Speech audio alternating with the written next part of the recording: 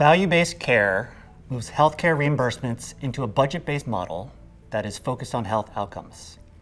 In simple terms, Medicare will provide a certain amount of money each month per patient for their care.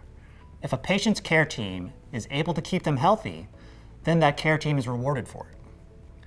If they are unable to do so, then the medical practice has to cover those costs themselves.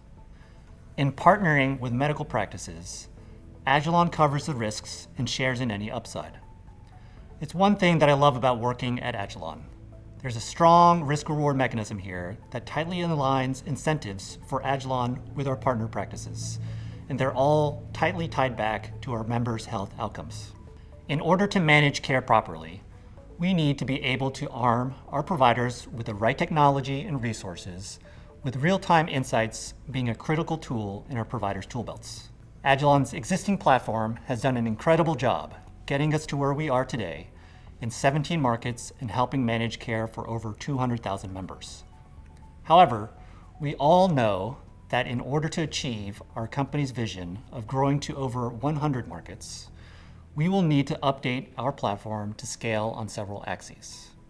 With our next iteration of the platform, we're going to be augmenting some areas and replacing others.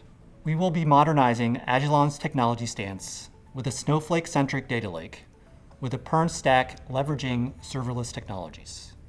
Our analytics and insights will be powered by machine learning. There's so much opportunity to do exciting and meaningfully impactful work.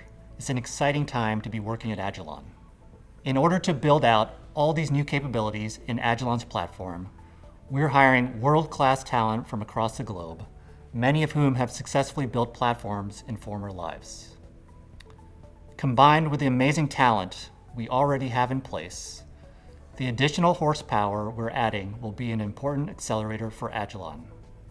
Expanding on the topic of acceleration, we are especially excited as we recently opened a subsidiary in Bangalore in order to leverage the rich and diverse engineering talent in India and accelerate the growth of our engineering team. As we continue to grow those teams both abroad and in the US, this global team will allow us to provide critical value to our partners at a much more rapid pace and support our platform more effectively. We're setting aggressive goals for ourselves in the time frame of months and not years. And of course, iteration is the key.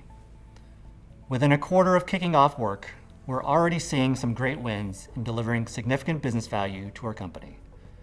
It's great momentum, and we're excited to carry that forward with much more success stories to come.